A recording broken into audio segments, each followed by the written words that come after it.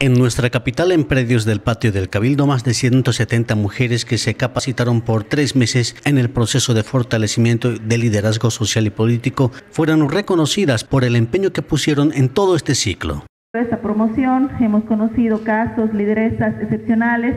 Realmente estamos muy orgullosos de cada una de ustedes y que hayan podido compartir con nosotros en este proceso que ha sido también de aprendizaje para nosotros. Hemos podido comprender un poco más de lo que es justicia ambiental y trabajar en el liderazgo social, político de las mujeres y sus organizaciones. El personal de MAT, vendedoras del mercado central y otros sectores recibieron la certificación en el desempeño de sus labores. Me siento muy alegre por venir a este curso. Hemos aprendido de medio ambiente, de valores, del liderazgo. Y eso yo quiero decir, que no se olviden siempre que en todas las instituciones que participen en este curso, así con todo municipio de ambas partes, obras públicas, todo, ¿no? Quisiéramos todas las sepamos.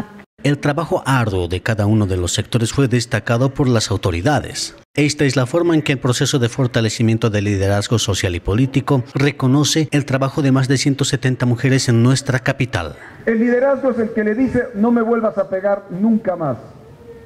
Si quieres estar conmigo, me vas a respetar. El liderazgo es aquella mujer o hombre que a través de sus hijos agarra la educación y la transforma en un poder para ellos. Eso es liderazgo. El liderazgo es respetar tu barrio. El liderazgo es respetar tu distrito. El liderazgo es cumplir las normas.